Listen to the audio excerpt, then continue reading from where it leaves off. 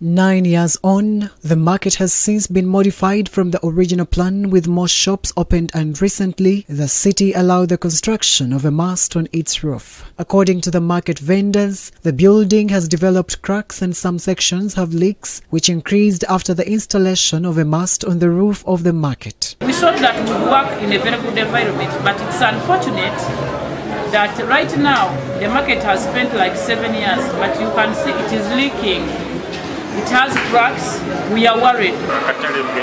We are worried about our safety because the market is in a bad state. The roof is leaking, the ceiling has collapsed, and the building has developed cracks.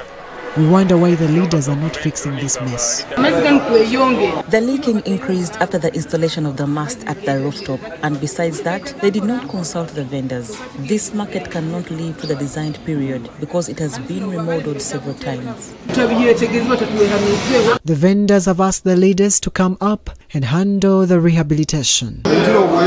Whenever it rains, our merchandise gets wet. Secondly, the city takes a long time to clean it, so the level of sanitation in the market is also poor. The market is messy and smelly, so we request the Hoima City RCC to come and intervene.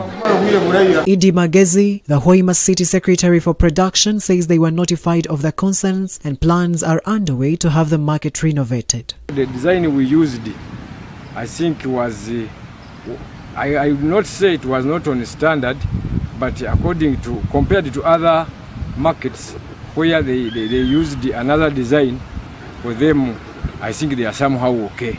This design was not so, so, it was not so proper.